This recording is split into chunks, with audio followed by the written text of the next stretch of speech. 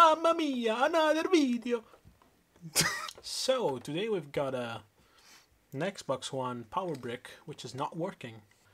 Well, it's just flashing an orange light here. I think you should be able to see it. If I try to power on the, the Xbox, it just dies. So, I'm sorry guys, uh, no spaghetti jokes today, because uh, I bought one of these and well, if you get them from Italy, uh, well, I had to sell all my spaghetti. This is actually a pretty easy to disassemble power brick. We've got these uh, rubber pads covering the screws. Just gonna take them off like this. Kinda poke the hole through that one. But yeah, so you, you do this to each and every one of them.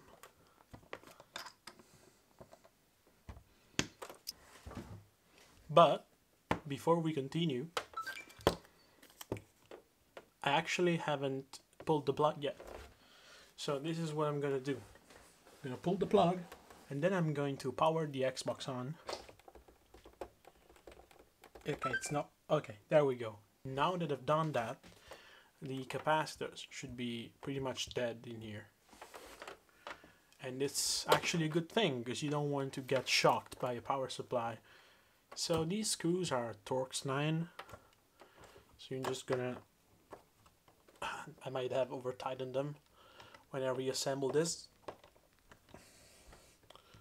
But yeah, anyway, just wanna take them all off.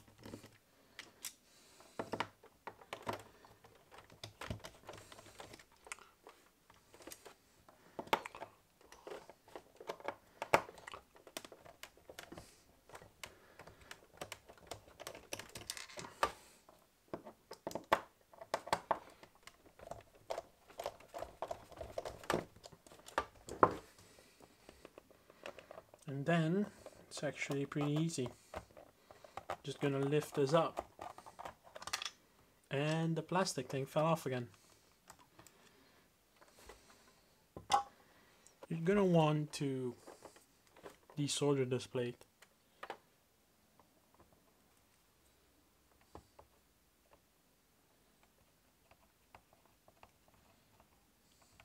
So my soldering iron is actually having trouble melting that because it's a lot of thermal mass. So I'm just gonna see if I can give it some juice, give it some more juice.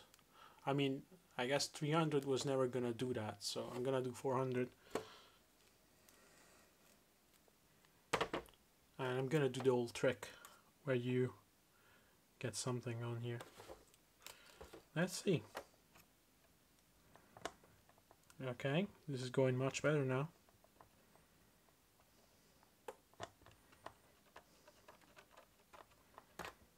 There we go. So that's off. Then we gotta do the other side. There we go. And we got this off.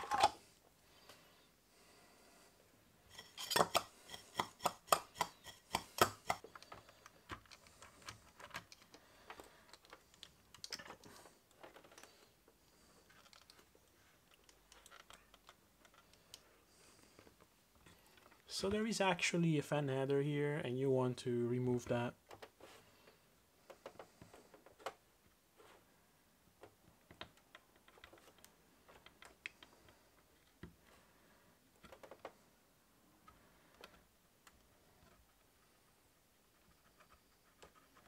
Just pull it, wiggle it a bit. Eventually it's just gonna come off. There you go. Then we've got the board here disassembled. And let's take a look. So when I first disassembled this I immediately noticed three issues. These three capacitors well they're swollen they shouldn't be. No capacitor should be swollen like this. So now what we're going to do we're just going to desolder these. And I actually have some replacements ready. So here's how it's gonna work. I'm gonna grab the offending capacitors one by one. And then I'm just to desolder them while pulling on them. I have identified the leads which are from the capacitors.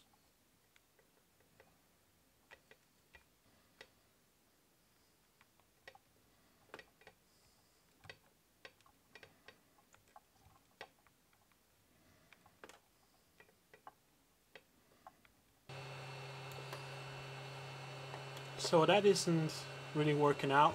So I'm gonna use the hot air station.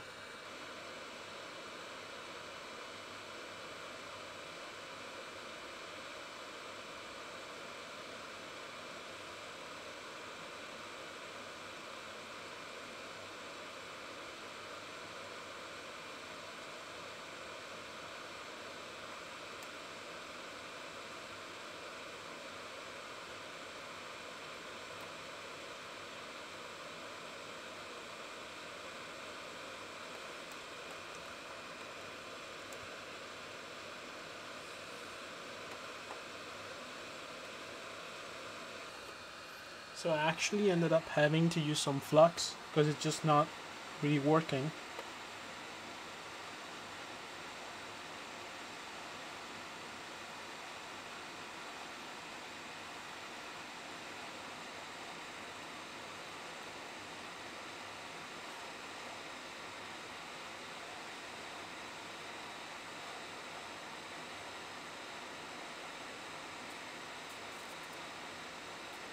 Come out.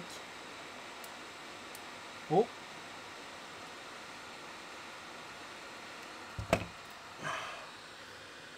So that's off. I'm gonna do it with the flux again.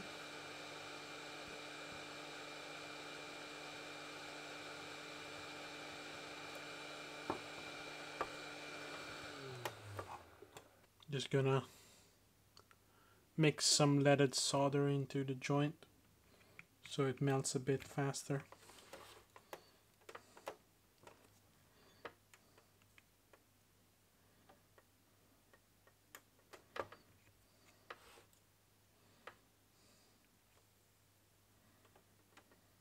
Let's see if it's gonna work without the hot air station now.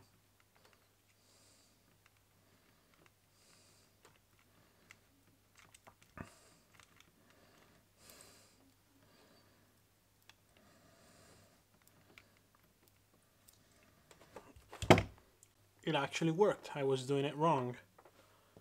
I needed flux and more solder, I guess, for the thermal mass. Because you know, a bigger thermal mass is a problem to heat up, but it's also gonna stay hotter for longer, so it allows me to jump from one side to the other very easily. And the heat is just gonna stay there.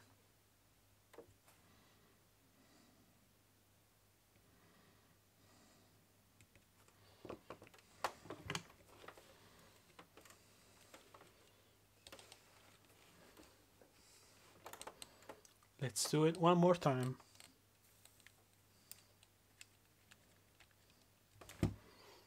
Gonna have to mix some leaded solder again. So I can tell that it actually was a good idea to do that. Because it's behaving much, much more differently without that.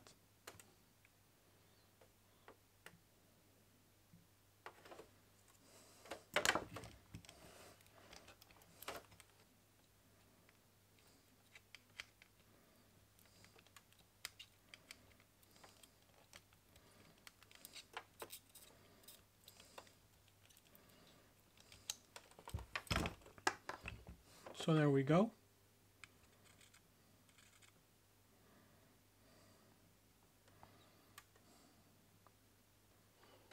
So now we actually have to remove some solder from the capacitor uh, end because otherwise we're not going to be able to put the new capacitors in.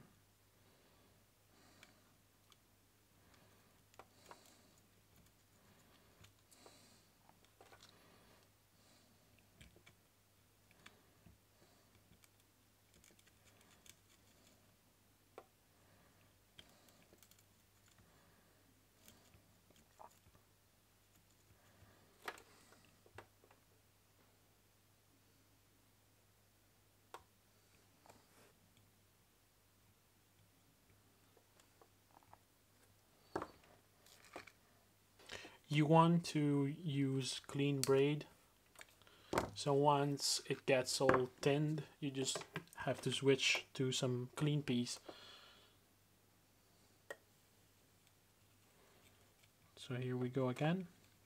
Oh god it got stuck. Why does this always happen? Okay so that worked. And the, the last one now well not the last one but the last one over here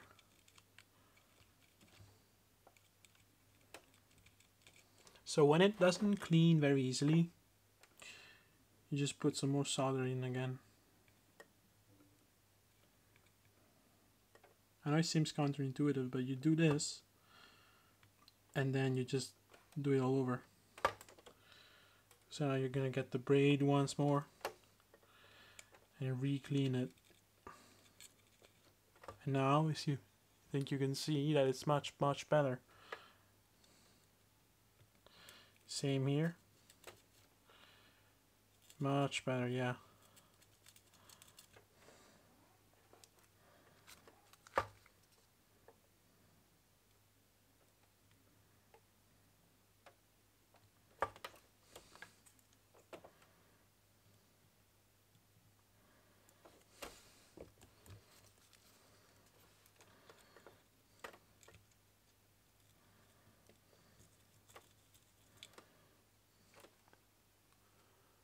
There we go, now it all seems much cleaner. And we've got the last ones. These ones are actually kind of um, hard. One of them is just next to a resistor. Uh, resistor.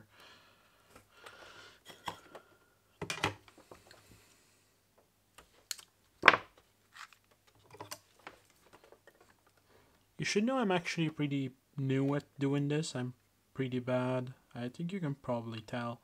So this is why I'm doing the trying to fix. maybe I can document my progress at becoming trash. I always wanted to be trash.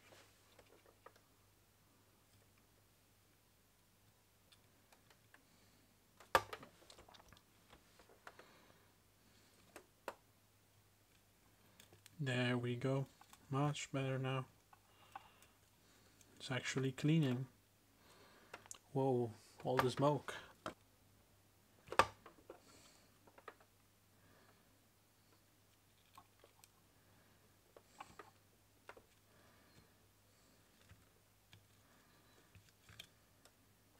Okay, that's much better now.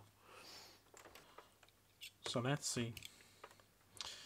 Now, this this side here is the negative side and the black on the board. If this were a green board it would be white is the negative. So yeah. Just need to stick that in. Get it all in there.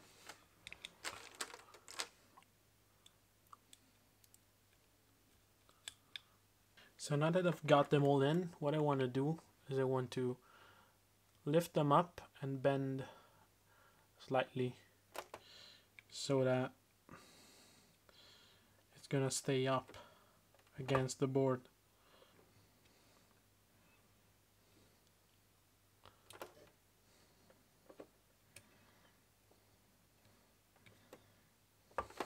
So I'm gonna do the joints now to the new capacitors.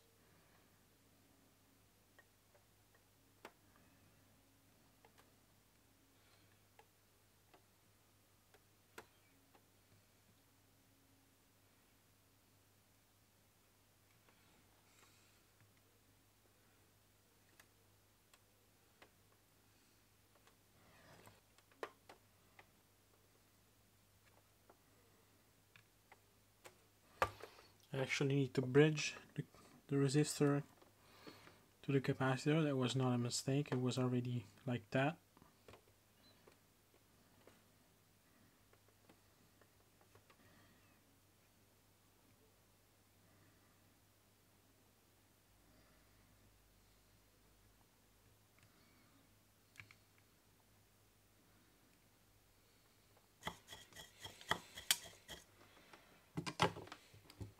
Then you absolutely want to trim the the legs of the capacitors.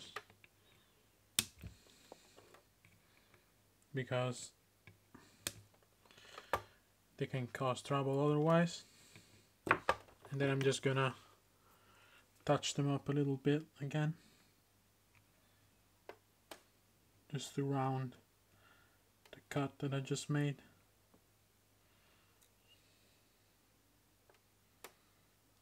you might have noticed that it actually cleaned the lead that was on here. And I actually don't don't have to. I must I must not do that because these traces are actually thickened with solder and they have to stay that way. So if you clean some of it you must fix that I, I think we're pretty much ready now to reassemble this. But first we need to clean all the flux that we've got on here.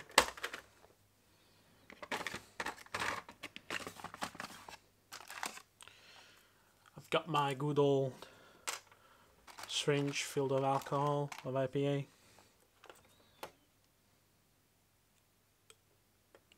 just gonna is actually pretty much full of flux now.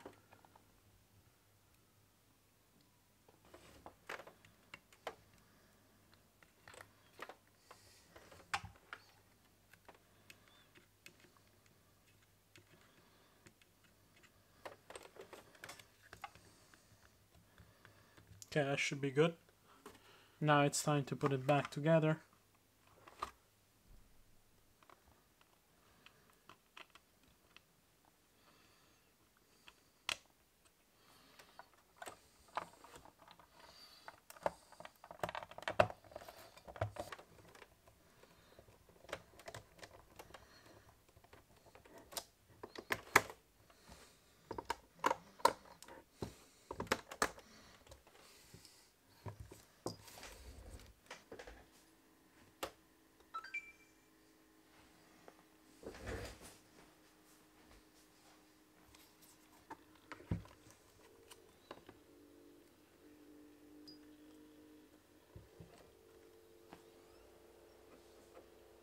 Seems to be working.